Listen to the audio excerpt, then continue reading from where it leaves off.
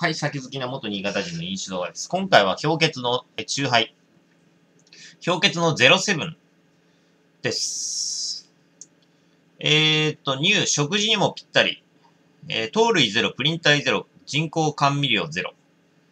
えー、ストロングと書いてあります。アルコール度数7%で、果汁が3.1%。こちらですね、注意いただきたいのが、人工甘味料ゼロと書いてあるんですが、ここに。だがしかし原材料に、えー、天然甘味料の、えー、ステビアが入っております。出たよ。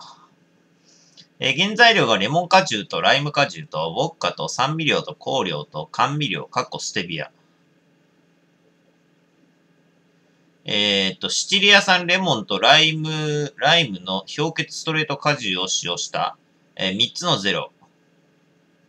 で、えー、すっきり飲みやすく、食事の邪魔をしないストロング。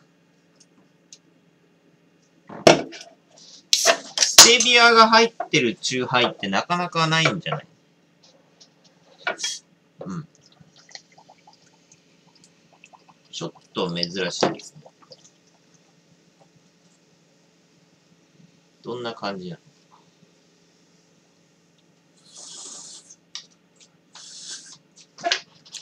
ポカリスエットステビアっていうのがあったぐらいですから、ステビアっていうのは、あの、甘さが少ない。あのー、甘味料ですね。それは甘ピー。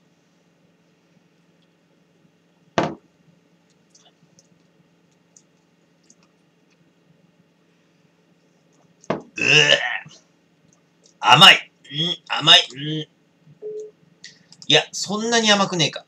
いや、最初はいけるかと思ったけど、やっぱちょっと、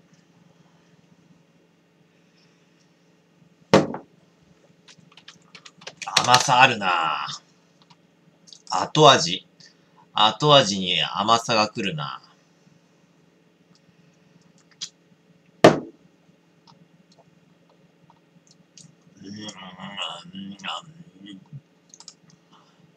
うわ甘さあるな。ちょっとやっぱり、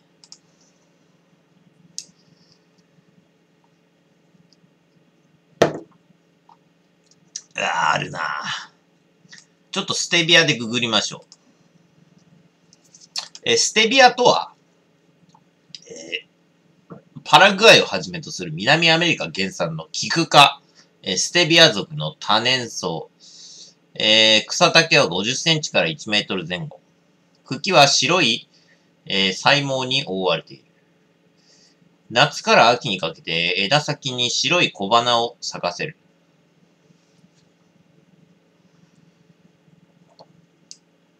えー、甘み成分としてステビオシドや、えー、レバウディオサイド A といった、えー、テルペノイドの配当体を含んでいるため、えー、甘味料としても用いられる。うん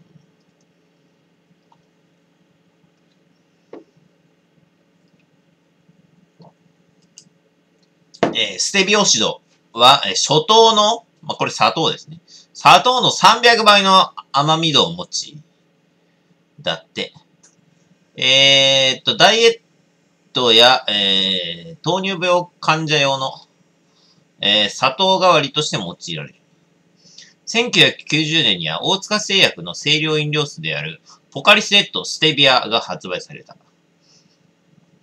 なんだ、300倍もあるのか。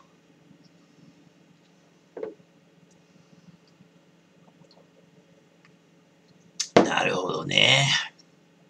結構使われてる、あの、300倍ってかなりでかいですね。まあでも、あのー、いわゆるアセスルファブ K とかは、あれ、1000倍とかでしょ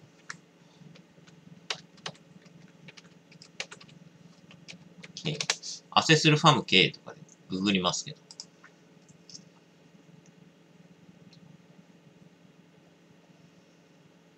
で、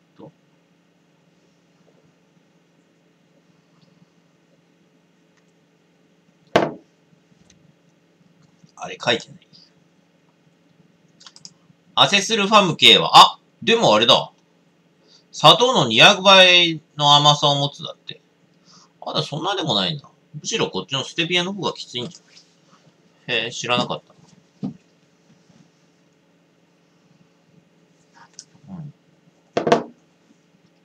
でもそこそこあれですね。こっちは、あの、まだ飲めるレベル。うん。アセスルファム系の方が個人的には、あの、えぐい。えぐい気はするね。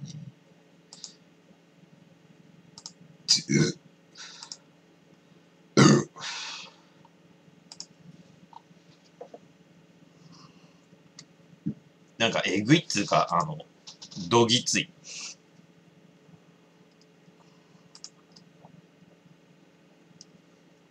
これまだ飲める。うん。ああ結構慣れてくると、割と飲める、まだ。ただ、あまあ、まずいっつうのは確かにあるな。うん。これ買うことはねこれは買うことはね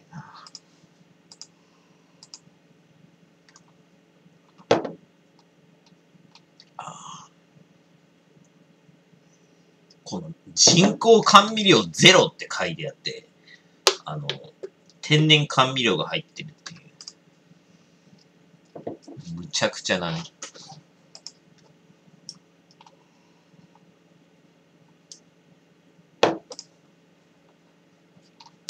ちゃくちゃパターン。キリンの氷結は、あの、ひどいことをするね。